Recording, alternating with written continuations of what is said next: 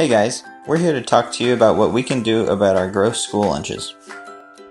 Back in middle school, one of my friends forgot to bring her packed lunch to school. She hated school lunches so much that she started bawling when she realized she had to eat one.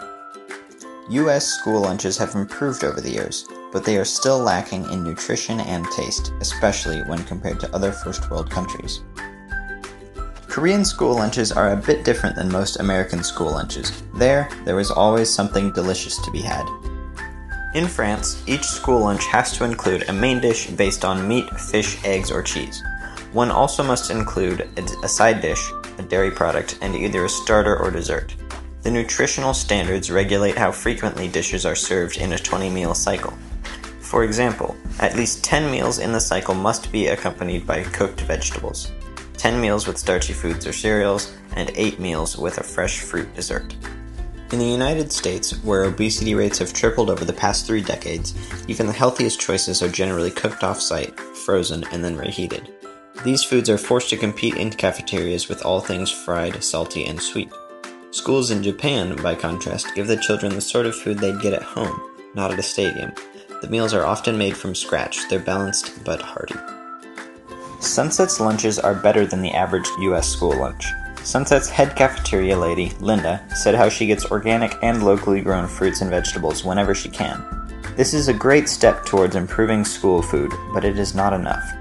If I have second lunch when Linda got fresh strawberries or some other fresh fruit, they are usually all gone by the time I get my food. One way we could get more healthy food was suggested by our health teacher, Mrs. Ariano, and that's having a school garden. Not only would this provide us with more organic food, but it could also be a club or part of the Northwest Ecology class. The best way to get better food is to raise funding for our schools.